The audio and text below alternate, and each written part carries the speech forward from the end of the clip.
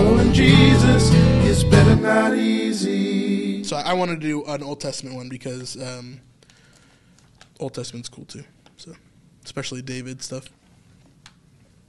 So 2 Samuel 7, and I'm, I'm going to focus on um, ch- verses 18 and 19. Um, 2 Samuel 7. Hey. So let me give some context to this ahead of time, and then and then we'll jump into those verses. But uh, so essentially, David is is um, is king now. Um, so he's uh, been anointed as king not too long ago, and he's basically starting his reign. Um, he has uh, his wife Michal, and um, and they're kind of going into reigning in Israel. Right, everything's kind of happening here. Um, so David, uh, he's talking to Nathan. So at the beginning of chapter 7, it says this It says, Now when the king lived in his house, and the Lord had given him rest from all of his surrounding enemies, because David has, has defeated the Philistines, he's defeated these, these different people around him, right? Um, when he's when when the Lord had given him rest, basically, uh, the king said to Nathan the prophet, uh, "See now." Uh, the king said to Nathan the prophet, "See now, I dwell in a house of cedar, but the but the ark of God dwells in a tent." And Nathan said to the king, "Go do that is uh, that is in your heart, for the Lord is with you." So he's basically talking to Nathan. He's like, he's like, "I live in a house of cedar, but God lives in a tent." Like, there's something to that, right?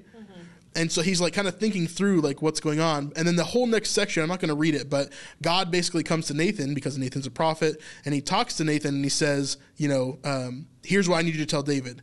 Basically i'm going to bring up your offspring and your offspring is going to create a house for me to dwell in talking about solomon building the temple right?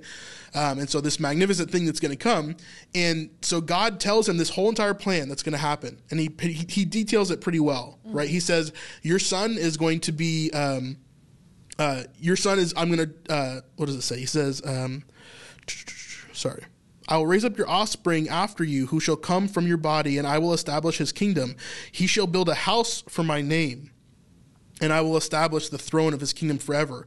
I will be to him a father and he shall be to me a son. So it's it's saying here that solomon is going to be someone who follows me right?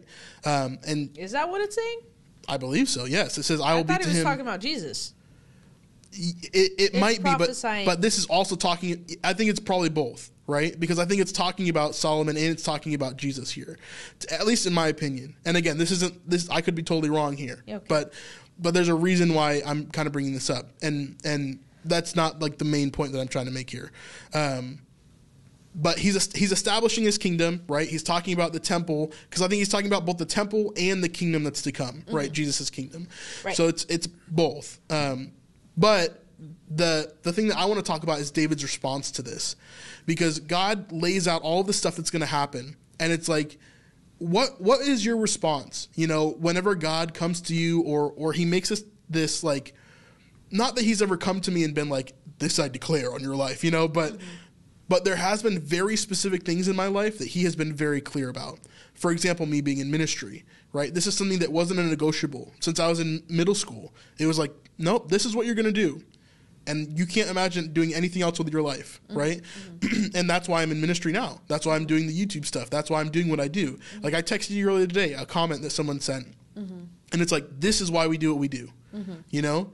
Because of this comment. The comment was like, um, it was like I'm 52 years old and and I wanted to tell you because of this video it changed my mind and it helped me understand this in a more godly way. Mm-hmm. And it's like that's why I do what I do. Yeah. You know? And this video isn't even like a Bible preaching like reading the scripture video. Right. It's completely not about that at all, right? Right. But I was still able to at least convey a godly message through that. Mm-hmm. You know? Mm-hmm. And it's like to me that blows my mind. And I have I have a, a, a a response to what God calls me to, right? When He calls me to ministry, I could go around to everybody and be like, "Oh, I'm going to be in ministry. Mm-hmm. God's going to call me to ministry. I know that He is. You better give me this opportunity." Mm-hmm. Or I could react in humility and say, "I know that God's going to do this, and I'm going to follow whatever it is that He wants me to do." Yeah. Right? Whether it's being the janitor or whatever. Right. you know, like Right. no matter what he's putting you Right. through. Whether it's being in part-time ministry for six years, Yeah. right, barely making it by, Yeah. Mm-hmm. which is exactly what happened to us, right? But God had a plan in that because He was using my humility and He was using my purpose in that time, you know. Mm-hmm. but here's David's response, and I and I love this because it it, it tells us so much about who David is and why God calls him a man after my own heart. And so, uh, eight, verse 18, David's response starts here. It says, The king David went in and sat before the Lord and said, Who am I, O Lord God? And what is my house that you have brought me thus far? Who am I, right? Mm-hmm. Like, who am I? Mm-hmm. What is my house? Like, what value do I have that you would do this for me, that you would do this through me? Mm-hmm. And then verse 19, and yet, uh, and yet this was a small thing in your eyes, O Lord. You have spoken also of your servant's house for a great while. O come, and and this in is is instruction for mankind, O Lord God. So it's like it's not just for him. He understands that this is bigger than him. This is all of mankind, right?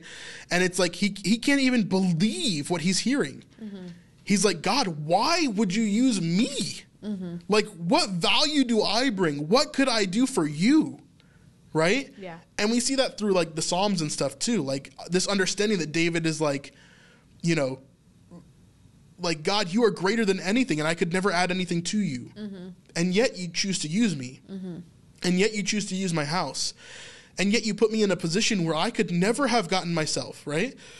And it's like, I feel that way so often in my life because of the talents that he's given me, because of the opportunities that he's given me, our YouTube channel, everything that he's been doing, right? The fact that I'm married to you, like there's like there's so many things that like God has made abundantly clear in my life. Like I have done this for you for whatever reason, right? And it's up to you how you respond to it, mm. right? Mm-hmm. And it's like God, why? Like why me mm-hmm. out of everybody, right? Yeah. Like I underst- I understand some of it, right? Like you've given me this talent, you've given me this ability, you've done whatever, right? Like but like why trust me instead of these other people? And and the thing is like I see it so often too with other people in my life because I see other people that have the same talents or more. I see other people that have the same opportunities or more. I see other people that have the same blessings or more, right? And yet their response to it destroys them Yeah. Because their response to it is, "Ah, look at me, Yeah. I'm so great, and God's going to do amazing things through me." You know, like, like that's the response, right? Uh-huh. And it makes me so sad. I was going to say mad, and it does, but it also makes me sad Yeah. because those people could have everything that God wants to give them. Not like in a prosperity, like, oh, if you do this, God will give you that. But Right. They could have everything that God wants to give them. Mm-hmm.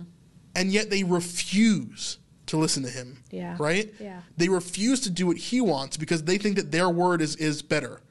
They think that what they want is better. Mm-hmm. And their response to what God gives them destroys what God wanted to give them in the first place. Yeah. Yeah, it's so sad. Pride. It's the same thing that we've been talking about this whole time. Is it's the pride of man leads to destruction leads to destruction. Isn't that a thing? I don't know the whole Bible by heart, but yeah. What are your thoughts about that? How, how David responded there? Yeah, like that's that's epic humility. Epic humility right there. Yeah. Um Which David always um, shows, and, and he's perfect in every way. what more can David say to you? You know that your servant Lord that was a joke, by the way. Sorry.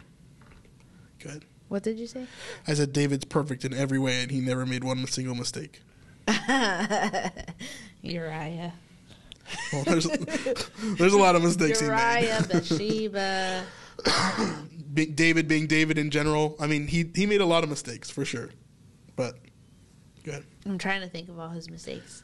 Well, I'm sure not all of them are in scripture. Okay, But because of your word and according to your will, you have revealed all these great things to your servant. Yeah, it's just I kept reading when you stopped, um, and like he said, for all mankind, and that was huge. But then he's like, "You're doing all." Like he literally says, "You're doing Yeah. all these great things through your servant." So yeah, it's it's amazing.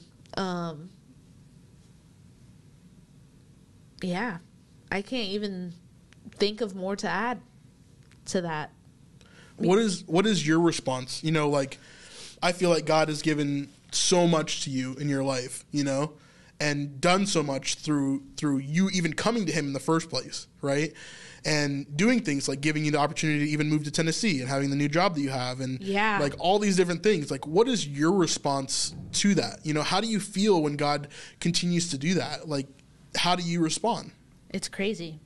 Yeah. You know, like it's it's like I was just at the park and I'm like thank you.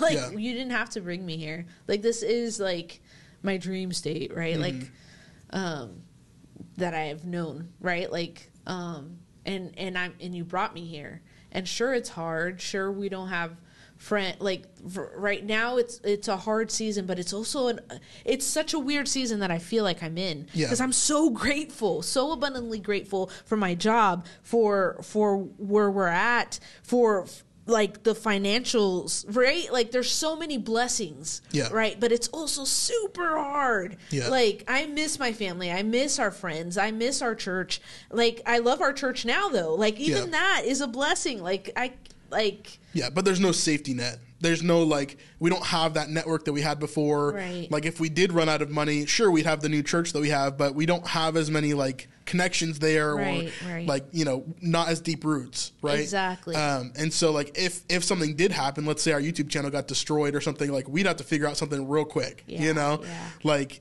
and so that's kind of scary, you know, It like is. we we took a, a, a leap of faith coming here and doing what we're doing now, but God has continually blessed us, Mm-hmm. Right. even though He didn't have to. right You know, we didn't come here because we had the promise we're of not blessings. great. We're not. You know what I mean? Right. We're, we're sinful, broken people. I have anger issues and forgiveness issues all the Right. freaking time, and it's annoying. I just said freaking, which I'm sure some Christians think that that's horrible. um, and like I'm just, it's like I'm so broken. There's no, there's no re everything since I've become a Christian. From meeting you, from finding my church, everything God has been abundantly, like Right. amazing to me. You Yeah. know, you're gonna make me cry. I mean, crying equals more views. So Whatever. zoom in, enhance. I'm just kidding. No, but obviously, I, I think God has obviously blessed us a ton, Yeah. and and put us in positions that we never thought we would be put in. Right. Right. Um, Like having, for me, like there's been several times where I get a job because I don't have a Yeah, a, a yeah. degree. Like that's the craziest thing ever. Like that's not how the world actually works. Right. But God con- constantly, He's like, there's like no amount of blessing that I can say that He hasn't done. Does that make sense? Right. like I mean, think about the voice that we have now, right? yeah, Like through our through our channel, like we've reached almost five million people now, Mm-hmm. right? Our goal, which we thought was impossible, was ten million, yeah. and yet it's We're seeming more attainable. You know? Okay, stop. You're gonna get us copyright copyright striked. Um, but it but God is making it happen. You know. And it's like, okay, God, if I can dream this big, what else? What else can we do together? Right. You know, what else can you do through me? Uh, Yeah. uh, like, who am I, O Lord? Yes. and what is my house? You know? Stop. But it's just the truth. yeah. Who am I, O Lord, and what is my house? Who am I that you are mindful of me, that you love me, right? It's like, man, God, thank you for being so good. Thank you for being who you are. He's just good, right? Yes. And I'm thankful for that, for sure. Because, like we say all the time, following Jesus is better, not easy. Dang it! I didn't wear that. And that means that things could be harder, you know? yeah. Yeah. Things could be more difficult, and yet we would still praise Him all the more. And it is hard. it is. It is. It's It so is. hard. It's been very difficult yeah. going through our marriage, being alone here in Tennessee. Yeah. Walking through no friends, walking Yeah. through no roots, no network. Yeah. Like finding a church, going through all that stuff, I figuring out shop details. by myself. What is that? But for us, like, coffee by myself. That's harder. I love shopping by myself if I'm honest. But coffee by myself, ugh, that Uh-huh. hurts so so hard. mhm, so that- much. Thank you. Yeah. But I, I have hope in the faith that we have that even though it's harder and even though it could get even harder, we still understand that what God wants us to do is better. You know, three, four years ago, we would have never, ever, ever guessed that God would have us where we are. I wanted to be here three or four years ago. I'm not saying just physically in Tennessee. I'm saying everything that's happening, right? yeah. Everything that's happening with our YouTube channel, with your job, like, Yeah.